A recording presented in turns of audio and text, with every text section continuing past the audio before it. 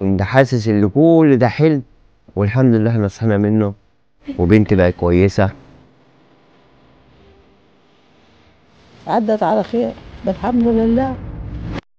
أول ما الدكتور كلمني فبيقول لي ده هي عندها تليف فأنا كأن جبت خنجر وضربته في صدري. كنتش نقدر نعمل حاجة خالص. كشفت في مصر.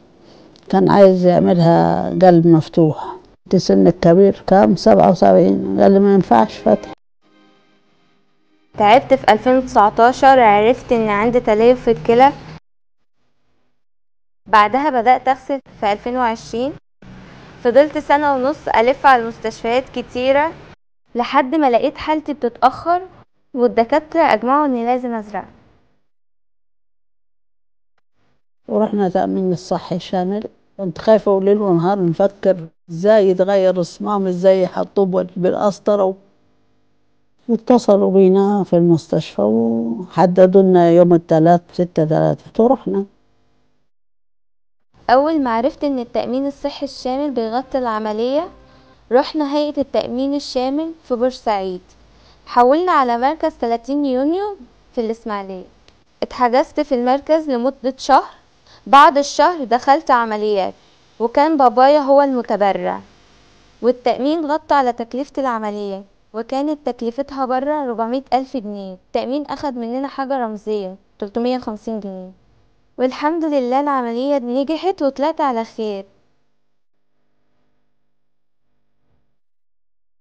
المكان عجبني ونظيفة وكويسة بس ما كنتش ضامنة ان نعمل ونطلع بالسلامة. خفت فلوس كتيرة والعملية تتكلف عدت المليون. تغيير ال- الصمام الأورطي بالقسطرة بيبقى أغلى من الجراحة تقريبا قال لي فوق المليون جنيه. طبعا ما تخيلتش إن التأمين الصحي هي- هيعمل لي عملية بالمبلغ الكبير ده. 250 جنيه في التحليل 100 جنيه أو 120 جنيه يعني ما كملوش في 400 جنيه. عملنا العملية والحمد لله الحمد لله. كنت خايفة بس ربنا كرمنا والحمد لله. عدت على خير. كنت مبسوطة وكله كان مبسوط. اللي في الصعيد جو ده جو ده جو. اتلموا الحبايب بنات والولاد الحمد لله. ما كنتش صراحة مصدقة إن هنعمل عملية ون- ونرجع. كان امل في ربنا طبعا كبير إن هي تطلع وت- وتقوم بالسلامة. هي منظومة التأمين الصحي الشامل كانت زمان آه، ناقصة حاجات كتير. بس بصراحة دلوقتي يعني تخش المستشفى منظرها رهيب جدا. يعني أكنك في مستشفى في أمريكا أو في أوروبا. فبصراحة منظومة التأمين الصحي دي أحسن حاجة اتعملت في مصر بصراحة. يعني عشان أنا شفت الموضوع بعيني. أهم حاجة في الدنيا هي الصحة. أنا اتعالجت في شهر الحمد لله بعد ما قعدت سنة ونص ألف على المستشفيات.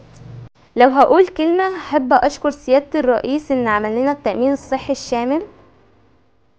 أنا نفسي بعد ما أتخرج من تمريض أنفع نفسي وبلدي وأساعد أهالينا زي ما هم ساعدوني. أنا بشكر ربنا وبشكر بلدي إن في ناس وقفت جنبي من أهلي ودكاترة بلدي ودعموني.